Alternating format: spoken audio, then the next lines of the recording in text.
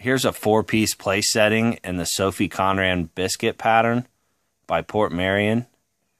The pieces are made of fine porcelain, and the place setting includes a dinner plate, a salad plate, a 12 and a half ounce mug, and a 16 ounce cereal bowl. You can buy this set new at tgldirect.com.